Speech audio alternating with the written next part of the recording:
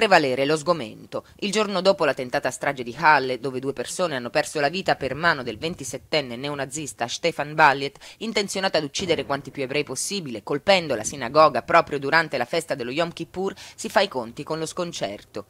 Le massime autorità tedesche visiteranno la sinagoga e la comunità ebraica della città. Il presidente della Repubblica Steinmeier terrà una conferenza stampa, ma non sarà facile sopire le polemiche dopo le parole del presidente del Consiglio centrale degli ebrei di Germania, Joseph Schuster, che ha definito scandalosa la mancanza di adeguate misure di sicurezza a protezione della sinagoga nei giorni di festività.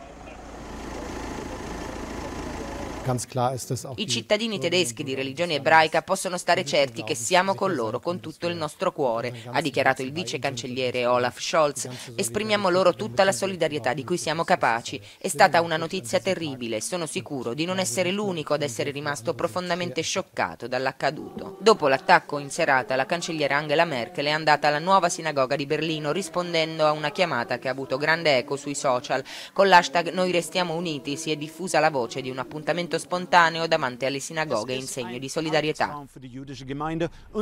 È un incubo per la comunità ebraica e per i tedeschi tutti. La polizia ha confermato che l'autore dell'attacco, un 27enne estremista di destra di nome Stefan Balliet, ha agito con la motivazione dell'antisemitismo.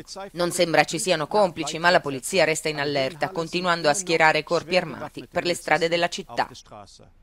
Juna Kelgen aus Halle für Euronews.